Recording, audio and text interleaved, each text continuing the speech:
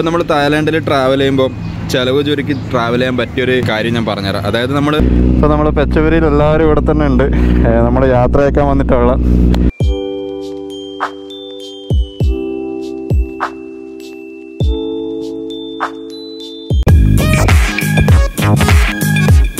So hi friends എല്ലാവർക്കും പുതിയൊരു വീട്ടിലോട്ട് സ്വാഗതം. അപ്പം നമ്മുടെ സൗത്ത് തായ്ലൻഡ് ട്രിപ്പ് ഇന്ന് സ്റ്റാർട്ട് ചെയ്യാൻ പോകണം ഇപ്പം ഞാനിപ്പോൾ നൈറ്റ് ഷിഫ്റ്റ് ആയിട്ട് നേരെ വീട്ടിൽ വന്നിട്ടുള്ളൂ. ഇപ്പം സമയം രാവിലെ നാലര ആകുന്നേ ഉള്ളൂ. അപ്പോൾ ഇന്നലെ ഞാൻ പോകുമ്പോഴേ ബാഗും കാര്യങ്ങളൊക്കെ പാക്ക് ചെയ്ത് വെച്ചിട്ടാണ് പോയത് ഇപ്പോൾ നിന്ന് ഒരു അഞ്ച് മണിയാകുമ്പോൾ ഞാൻ നേരെ പെച്ചവരിക്ക് പോകും. ഇപ്പം നമ്മുടെ ഇന്നത്തെ സ്പോട്ട് എന്ന് പറഞ്ഞാൽ നേരെ ഞാൻ പോകുന്നത് പെച്ചവരിലേക്കാണ്. അപ്പോൾ പെച്ചവരി ഇവിടെ നിന്ന് ഒരു ഇരുന്നൂറ് കിലോമീറ്ററിനടുത്ത് ട്രാവൽ ചെയ്യാനുണ്ട്. അപ്പോൾ അവിടെയാണ് നമ്മുടെ രാഹുലും പ്രശാന്തും. അതുപോലെ തന്നെ എന്റെ വേറെയും ഫ്രണ്ട്സ് ഉണ്ട്. ഗ്യാരി ഗ്ലാഡ്സൺ ജിബി എനിക്ക് ഒരുപാട് ഫ്രണ്ട്സ് ഉണ്ട് അവിടെ.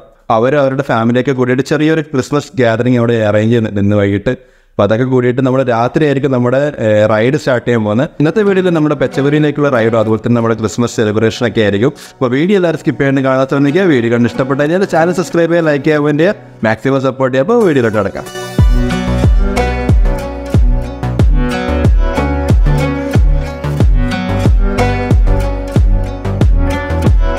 പോകുന്ന വഴിക്ക് ഒരു ജിഫി ഉണ്ടായിരുന്നു. ജിഫിയിൽ വന്നിട്ടുള്ള ഇപ്പോൾ ഇവിടുന്ന് പെട്രോൾ അടിച്ചു. ഇനിയിപ്പോൾ ഇവിടുന്ന് ഒരു എഴുപത് കിലോമീറ്ററും കൂടിയുള്ളൂ രാഹുലിന്റെ വീട്ടിലോട്ട്. ഇപ്പം നമ്മൾ തായ്ലാൻഡിൽ ട്രാവൽ ചെയ്യുമ്പോൾ ചിലവ് ചുരുക്കി ട്രാവൽ ചെയ്യാൻ പറ്റിയൊരു കാര്യം ഞാൻ പറഞ്ഞുതരാം. അതായത് നമ്മൾ ഈ ജിഫി അതുപോലെ സെവൻ ഇലവൻ ഒക്കെ യൂസ് ചെയ്ത് കഴിഞ്ഞാൽ ഒരുപാട് നമുക്ക് കാശ് സേവ് ചെയ്യാൻ പറ്റും. ഇപ്പോൾ ഞാനിവിടുന്ന് ഒരു വെള്ളം ഒരു കുപ്പി വെള്ളം പിന്നെ ഒരു ബർഗർ ഒരു ബീഫിന്റെ ബർഗർ പിന്നെ ഒരു കോഫി ഇത്രയും മൂന്ന് സാധനം ഞാൻ വാങ്ങിച്ചിട്ട് നാൽപ്പത്തിരണ്ട് ബാത്തേ ആയിട്ടുള്ളൂ. പക്ഷേ നമ്മളിവിടെ കഫേ ആമസോൺ ഉണ്ട്. കഫേ ആമസോണിൽ കയറിയിട്ട് ഒരു ചായ കുടിച്ചു കഴിഞ്ഞാൽ ഏകദേശം അമ്പത് ബാത്താവും അതായത് നമുക്ക് ഈ മൂന്ന് ഫുഡും വെള്ളവും കോഫി എല്ലാം അടക്കം നാൽപ്പത്തിരണ്ട് ബാത്തേ ആയിട്ടുള്ളൂ പക്ഷേ ഇവിടെ കയറി കഴിഞ്ഞാൽ നമ്മളൊരു ചായക്ക് മാത്രം അമ്പത് ബാത്ത് കൊടുക്കണം. അപ്പോൾ അങ്ങനെയൊക്കെ നമ്മൾ ശ്രദ്ധിച്ചു കഴിഞ്ഞാൽ നമുക്ക് കുറേയൊക്കെ നമുക്ക് കാശ് സേവ് ചെയ്തിട്ട് ട്രാവൽ ചെയ്യാൻ പറ്റും. ഇപ്പോൾ ഇവിടെ എന്ന് പറഞ്ഞാൽ ജിഫി എന്ന് പറഞ്ഞാൽ നമ്മൾ സെവൻ ഇലവൻ അപേക്ഷിച്ചിട്ട് ജിഫിയിൽ നമുക്ക് കുറച്ചുകൂടിയും ഫ്രഷ് ആയിട്ടുള്ള ഫുഡ് കിട്ടും. സെവൻ ഇലവനിൽ നമുക്ക് എന്താ പറയുക നമ്മൾ പ്രോസസ്ഡ് ആയിട്ടുള്ള ഫുഡൊക്കെ ഉണ്ടാവാം. പക്ഷേ ജിഫിയിൽ നമ്മൾ വന്നു കഴിഞ്ഞാൽ കുറച്ചുകൂടി നമുക്ക് ഫ്രഷ് ആയിട്ടുള്ള ഫുഡ് കിട്ടും. ഇവിടെ ചേച്ചിമാർ ഫുഡൊക്കെ ഉണ്ടാക്കുന്നുണ്ടല്ലേ?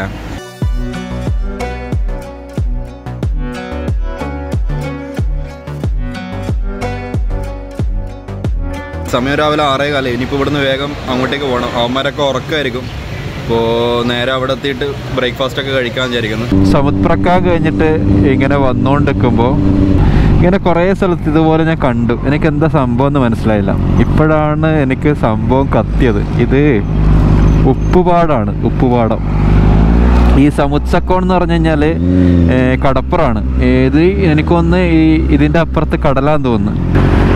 ചിലപ്പോൾ നിങ്ങളൊക്കെ നേരത്തെ കണ്ടിട്ടുണ്ടാവും. ഞാൻ ഇതുവരെ കണ്ടിട്ടില്ല. ഞാൻ ആദ്യമായിട്ടാണ് കാണുന്നത് ഇത്.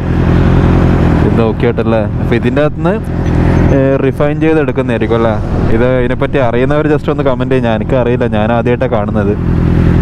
അപ്പോൾ ഞാൻ മുന്നോട്ട് പോയ സമയത്ത് അവിടെ ഒരു കടയിൽ ചോദിച്ചു. അവിടെ ഒരു കടയിൽ ഇതുപോലെ വെള്ളപ്പൊടി എന്തെല്ലാം വിൽക്കുന്നുണ്ട്. അപ്പോൾ അവരോട് അവർ പറഞ്ഞു ഉപ്പാന്ന് പറഞ്ഞു. എനിക്ക് ആദ്യം സംഭവം മനസ്സിലായില്ല എന്താ ഇത് അപ്പോഴവർ പറഞ്ഞു ഉപ്പ് ഉപ്പാന്ന് പറഞ്ഞു. അപ്പോൾ ഈ ഉപ്പിന് ക്രൈ ക്രൈങ്കാനോ അങ്ങനെ എന്തോ പറയാ ഉപ്പിന് തായിൽ അപ്പോൾ ഇപ്പോൾ സംഭവം പറഞ്ഞപ്പോൾ എനിക്ക് മനസ്സിലായില്ല. അപ്പോൾ അതാ ഞാൻ വന്നത് അപ്പോൾ അവർ നോക്കുമ്പോൾ ട്രാൻസ്ലേറ്റ് ചെയ്ത് നോക്കിയപ്പോൾ ഉപ്പാണ്. അപ്പോൾ ഇതാണ് ഉപ്പ് പാടം. അപ്പോൾ ഇത് ചെറുതാട്ടോ. കുറേ വലുതൊക്കെ ബാക്കിലോട്ട് കഴിഞ്ഞു. ഞാൻ അവിടെ ചവിട്ടിയില്ല. എനിക്കെന്താ സംഭവം മനസ്സിലാത്തതുകൊണ്ട് ഞാൻ ചവിട്ടിയില്ല. ഇപ്പോൾ കുറച്ച് കുറേ ഇത് ഇപ്പോൾ ഇത് കുറേ നേരം ഒരു എനിക്കൊന്നൊരു പത്ത് ഇരുപത് കിലോമീറ്ററോളം ഇത് തന്നെയാണ്. സൈഡ് ഈ ഒരു സൈഡ് മൊത്തം ഉപ്പുപാടം മാത്രമാണ് എന്താ അല്ലേ? നമുക്കിനി ഏകദേശം ഇനി എത്ര ദൂരം ഉണ്ടെന്ന് അറിയോ രാഹുലിന്റെ വീട്ടിലോട്ട് രാഹുലിന്റെ വീട്ടിലോട്ട് നമുക്ക് നാൽപ്പത്തൊന്ന് കിലോമീറ്റർ ഉണ്ട് ഇനി. എന്തായാലും വേഗം വിടാം. ലൈറ്റ് ആക്കണ്ട. നമുക്ക് വേഗം പോയിട്ട് കുറച്ച് റെസ്റ്റ് എടുക്കണ്ട. ഞാനാണെങ്കിൽ നൈറ്റ് കഴിഞ്ഞിട്ട് ഉറങ്ങിയിട്ട് തന്നെ ഇല്ല. ഇനിയിപ്പോൾ നേരെ പോയിട്ട് രാഹുലിന്റെ വീട്ടിൽ എന്തെങ്കിലും പോയിട്ട് കഴിക്കണം? അവർ അവന്മാർ ഇന്നലെ അപ്പവും ബീഫൊക്കെ ഉണ്ടാക്കിയെന്ന് പറയുന്നുണ്ട്. അതിന്റെ ബാക്കി ഉണ്ടെങ്കിൽ പോയിട്ട് കഴിക്കണം. ഇപ്പം നേരെ അങ്ങോട്ട് വിടാം. പെച്ചപുരി എത്തി. ഇപ്പോൾ ഇവിടെ നിന്ന് ഇനി ഒരു നാല് പോയിന്റ് അഞ്ച് കിലോമീറ്ററുള്ളൂ രാഹുലിന്റെ വീട്ടിലോട്ട് ഒരുപാട് ഇന്ത്യക്കാരുണ്ട് പെച്ചപുരിയിൽ പ്രത്യേകിച്ച് ഒരുപാട് മലയാളികളുണ്ട്. പെച്ചപുരി പ്രൊവിൻസിലെ പ്രത്യേകത എന്ന് പറഞ്ഞാൽ പെച്ചപുരി പ്രൊവിൻസിൽ ഒരു തൊണ്ണൂറ് ശതമാനം ഇന്ത്യക്കാരും മലയാളികളും വർക്ക് ചെയ്യുന്നത് ഒരൊറ്റ കമ്പനിയിലാണ്. കാൽകോം എന്ന് പറയുന്ന ഒരു കമ്പനിയിലാണ് ഒരു തൊണ്ണൂറ് ശതമാനം ആൾക്കാരും മലയാളികളും വർക്ക് ചെയ്യുന്നത് ഇവിടെ. അപ്പോൾ ഇതാണ് കാൽകോം കമ്പനി കാൽകോം ഇലക്ട്രോണിക്സ് അങ്ങനെ നമ്മൾ ഏകദേശം നൂറ്റി അമ്പത് കിലോമീറ്റർ സഞ്ചരിച്ചിട്ട് പെച്ചപുരയിൽ നമ്മുടെ രാഹുലിന്റെ വീട്ടിലെത്തി. കൈ കയ്യോയി നയ്യൊരു സ്ഥലത്തിന്റെ പേര്. എന്താ അല്ലേ? ഭയങ്കര സൈലന്റ് നമ്മുടെ അയോധ്യയൊക്കെ വെച്ച് നോക്കുമ്പം ഭയങ്കര ഒരു സൈലന്റ് അറ്റ്മോസ്ഫിയർ അവിടെ അങ്ങനെ വീട് ഇതന്നെ. ഇതാരും നമ്മുടെ രാഹുലിന്റെ വണ്ടി കിടക്കുന്നു ഇവിടെ.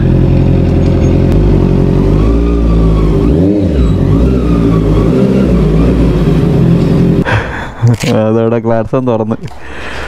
ഹലോ. ഏ മരണത്തണുപ്പ. നീ ഉറങ്ങിയില്ല?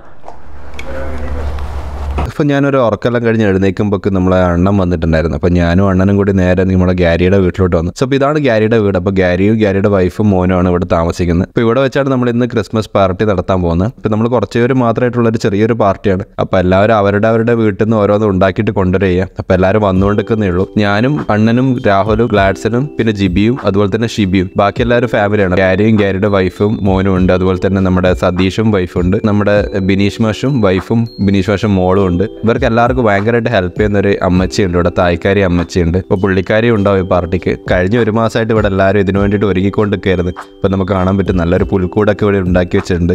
ഗ്ലാഡ്സിനും ഗാരിയും കൂടിയിട്ട് വൈനൊക്കെ ഇട്ടിട്ടുണ്ട്. ഇപ്പം നമുക്ക് പൈനാപ്പിൾ വൈനും ഉണ്ട്. അതുപോലെ തന്നെ മുന്തിരി വൈനും ഉണ്ട്. ഇപ്പം ഞാൻ ആദ്യമായിട്ടാണ് പൈനാപ്പിൾ വൈന് കുടിക്കാൻ പോകുന്നത്. ഇപ്പൊ രാത്രി ആൾക്കാരെല്ലാം വന്നു തുടങ്ങി. എല്ലാവരും അവരുടെ ക്രിസ്മസ് ഡ്രസ്സൊക്കെ ഇട്ട് വന്നു. ഷിബി നാട്ടിൽ നിന്ന് വരുമ്പോൾ രണ്ട് പ്ലം കേക്ക് ആയിട്ടാണ് നമുക്ക് തായ്ലാൻഡിൽ പ്ലം കേക്ക് കിട്ടില്ല. എന്റെ അറിവിൽ ഞാൻ ഇതുവരെ തായ്ലാൻഡിൽ പ്ലം കേക്ക് കണ്ടിട്ടില്ല. അപ്പോൾ ഇവിടെ എത്തിയതിന് ശേഷമാണ് ഇവർ പറയുന്നത് അതായത് ക്രിസ്മസ് ഫ്രണ്ട് എടുക്കുന്ന പരിപാടി ഉണ്ടെന്ന് അപ്പം ഞാനും അണ്ണനും ഇതൊന്നും അറിയാത്തതുകൊണ്ട് നമ്മൾ ഗിഫ്റ്റ് ഒന്നും വാങ്ങിച്ചില്ലായിരുന്നു. അപ്പോൾ അവർ പറഞ്ഞ കുഴപ്പമില്ല നമ്മൾ എക്സ്ട്രാ ഗിഫ്റ്റ് വാങ്ങിച്ചിട്ടുണ്ട്. നമുക്ക് അങ്ങോട്ടും ഇങ്ങോട്ടും ഷെയർ ചെയ്യാൻ കുഴപ്പമില്ല എന്ന് പറഞ്ഞു. നല്ല രസമായിരുന്നു. നല്ലൊരു അടിപൊളി ഈവനിങ് ആയിരുന്നു. അങ്ങനെ പരിപാടിയൊക്കെ കഴിഞ്ഞ് ഫുഡൊക്കെ കഴിച്ച് നമ്മൾ പതുക്കെ അവിടെ നിന്ന് ഇറങ്ങേണ്ട പരിപാടി തുടങ്ങി. ഞാനും രാഹുലും അണ്ണനും കൂടി ബാഗൊക്കെ പാക്ക് ചെയ്തു. അങ്ങനെ നമ്മൾ വണ്ടിയൊക്കെ സ്റ്റാർട്ട് ചെയ്യാൻ തുടങ്ങുമ്പോൾ അവർ എല്ലാവരും കൂടി നമ്മളെ യാത്ര അയക്കാൻ വന്നിട്ടുണ്ട്. ഇപ്പോൾ നമ്മൾ പെച്ചവരിയിൽ എല്ലാവരും ഇവിടെ തന്നെ ഉണ്ട്. നമ്മൾ യാത്ര അയക്കാൻ വന്നിട്ടുള്ള അപ്പോൾ നമ്മൾ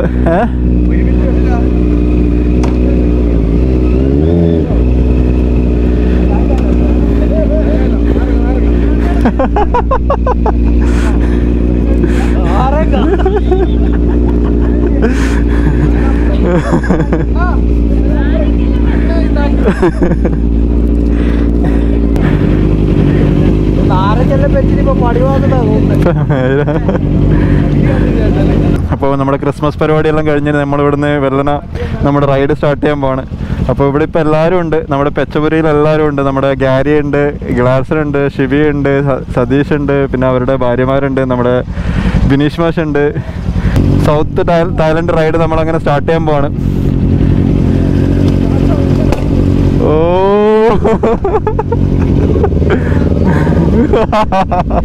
അപ്പോൾ ഓക്കെ. ഇപ്പം എന്തായാലും ഓക്കെ ഓ.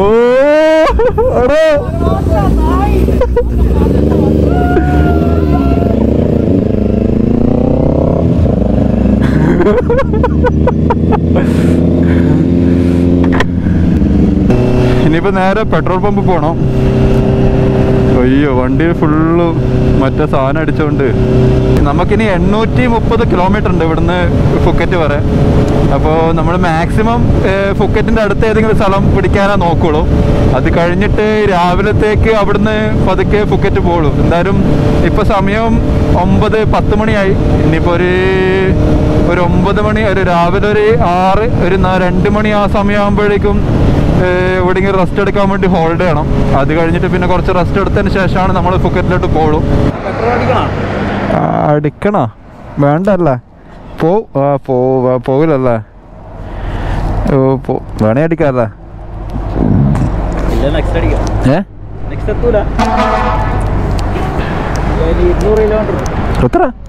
അടിച്ചാളെ.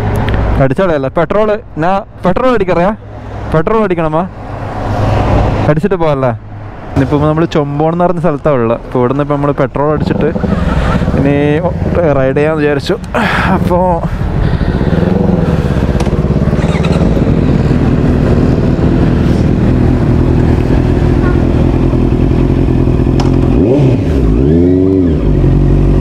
രാഹുലിന്റെ വീട്ടിൽ നിന്ന് ഇറങ്ങിയിട്ട് ഇപ്പോൾ നൂറ് കിലോമീറ്റർ ഓടി. അപ്പോൾ ഏകദേശം നമുക്ക് നിങ്ങൾക്കറിയാമല്ലോ നമ്മുടെയൊക്കെ വണ്ടിക്ക് അത്രേ മൈലേജ് ഉള്ളൂ. അപ്പം ഇതിനൊക്കെ ഒരു പതിനെട്ട് കിട്ടുള്ളൂ. കൗഹാത്തേം. ചേം ക്രെഡിറ്റ് കാർഡ് അയച്ചമേ ആ കാർഡ്. അപ്പോൾ ആ സക്കെ മച്ചാ കാർഡ് കാർഡ്. ചേട്ടായി ഡായ് അപ്പോൾ നമ്മൾ അവിടുന്ന് ഒരു നൂറ്റി ഇരുപത് കിലോമീറ്റർ ഇങ്ങോട്ട് ഓടി. ഇനിയിപ്പം നമുക്ക് ഏകദേശം മൊത്തത്തിൽ ഫുക്കറ്റ് വരെ ഏകദേശം എണ്ണൂറ്റി അമ്പത് കിലോമീറ്റർ ഓടാനുണ്ട്. പക്ഷെ നമ്മൾ അത്രയും ദൂരം പോകണ്ട. ഒരു അഞ്ഞൂറ് കിലോമീറ്റർ ഉള്ളൊരു പോയിന്റ് ഇട്ടിട്ടാണ് വന്നേക്കുന്നത് അപ്പോൾ അവിടെ പോയിട്ട് റെസ്റ്റ് എടുത്തിട്ട് ഒരു രാവിലെ എണീറ്റിട്ട് ഏഹ്, പോകാന്നുള്ള സെറ്റപ്പിലാണ് ഉള്ളത് ഇപ്പോൾ ഇവിടെ പെട്രോളിന് ഇപ്പോൾ ലിറ്ററിന് മുപ്പത്തഞ്ച് ഭാഗത്താണ് സെവനിൽ വന്നിട്ട് കുറച്ച് ചായയൊക്കെ കുടിച്ചുകൊണ്ട് നിൽക്കുമ്പോൾ ഒരു വാന് നിറയെ നോർത്ത് ഇന്ത്യൻസ് ഉണ്ടായിരുന്നു. അപ്പോൾ അവരോടൊക്കെ സംസാരിച്ചു. അപ്പോൾ അവർ വിചാരിച്ചു ഞങ്ങളുടെ നാട്ടിൽ നിന്ന് ഇന്ത്യയിൽ നിന്ന് റൈഡ് ചെയ്ത് വന്നതാണെന്ന് വിചാരിച്ചു. അപ്പോൾ അവർ നമ്മളോട് ചോദിച്ചോ എവിടെ നിന്നാണ് വരുന്നത് ഞങ്ങൾ മലയാളികൾ ഞാനും അവനും മലയാളിയാണ്. ഞങ്ങൾ പറഞ്ഞു സൗത്ത് ഇന്ത്യക്കാരാണോ നിങ്ങൾ അത്രയും ദൂരം റൈഡ് ചെയ്ത് വരുന്നതാണോ ചോദിക്കും ഞങ്ങളോട് ചോദിച്ചു നിങ്ങളോട് ഇങ്ങോട്ടാണ് പോകുന്നത് ഞങ്ങൾ പറഞ്ഞു "ഏ, ഫുക്കറ്റാണ്. ഫുക്കറ്റ് കഴിഞ്ഞിട്ട് ഞങ്ങൾ മലേഷ്യ ബോർഡറിലോട്ട് പോകുന്നു അപ്പോൾ അവർ നമ്മുടെ വണ്ടീന്റെ നമ്പർ പ്ലേറ്റ് ഒന്നും ശ്രദ്ധിച്ചില്ല. എന്ന് തോന്നുന്നു നമ്മളും പിന്നെ മാറ്റാൻ നിന്നില്ല. ഒരു ഗമ ഇരിക്കട്ടെ എന്ന് വിചാരിച്ച്. നമുക്ക് അപ്പോൾ നമുക്ക് അടുത്ത സ്പോട്ടിലോട്ട് പോവാം. സോ അപ്പം നമ്മളിപ്പോൾ നേരെ വന്നേക്കുന്ന സുറത്താനി എന്ന് പറഞ്ഞ സ്ഥലത്താണ്. അപ്പോൾ ഇനി നമുക്ക് ഇവിടുന്ന് സുറത്താനിന്ന് ഇനി ഒരു മുന്നൂറ് കിലോമീറ്റർ കൂടിയുണ്ട് ഫുക്കറ്റിലോട്ട്. അപ്പോൾ എന്താ പറ്റിയെന്ന് പറഞ്ഞു കഴിഞ്ഞാൽ നമ്മൾ ഇന്നലെ ഒരു മൂന്ന് മണിയൊക്കെ ആയപ്പോൾ മഴ പെയ്ത് തുടങ്ങി. അപ്പോൾ മഴ പെയ്തപ്പോൾ നമ്മൾ പിന്നെ നമ്മുടെ റൈഡ് മൊത്തം കുളമാവും കാരണം നമ്മൾ മഴ എന്ന് പറഞ്ഞ കാര്യം നമ്മൾ കൺസിഡർ ചെയ്യുന്നില്ല. അപ്പം വണ്ടിയിൽ അങ്ങനെ എന്താ വണ്ടിയിൽ എന്താ പറയുക നമ്മുടെ ലഗേജ് ക്യാമറാസ് എല്ലാം ഉള്ളതുകൊണ്ട് മഴ നനഞ്ഞ് ഫുള്ള് കുളം അതുകൊണ്ട് എന്താക്കി നമ്മൾ സുറത്താനിയിൽ നിർത്തിയിട്ട് ഇവിടെ ഒരു ഹോട്ടലിൽ നമ്മൾ റൂം എടുത്തു. ചെറിയ പൈസ ആയിട്ടുള്ളൂ കേട്ടോ. അപ്പോൾ ഈ ഒരു ഹോട്ടലിൽ നമ്മൾ ഇന്നലെ താമസിച്ച ഇപ്പോൾ ഇവിടെ നമുക്ക് മൂന്നാക്കും കൂടിയിട്ട് മൂന്നാക്കും കൂടിയിട്ട് എഴുന്നൂറ് ബാത്തേ ആയിട്ടുള്ളൂ. അപ്പോൾ ഇവിടെ ഇന്ന് കിടന്നുറങ്ങുന്ന അപ്പോൾ ഇപ്പോൾ സമയം രാവിലെ ആറ് മണി ആയിട്ടുള്ളൂ അപ്പോൾ നമ്മൾ മൂന്ന് മണിക്ക് വന്ന് കിടന്നു. ഇപ്പോൾ ആറ് മണിയായി.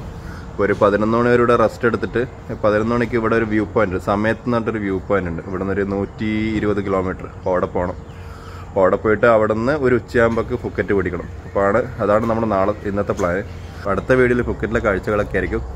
അപ്പോൾ ഇന്നത്തെ ഈ ഒരു വീഡിയോ എല്ലാവർക്കും ഇഷ്ടപ്പെട്ടു വിചാരിക്കുന്നു. വീണ്ടും നല്ലൊരു വീഡിയോ ആയിട്ട് നമുക്ക് വീണ്ടും കാണാം. അതൊരു സ്റ്റേബിൾ സ്റ്റേ ഹാപ്പി ബൈ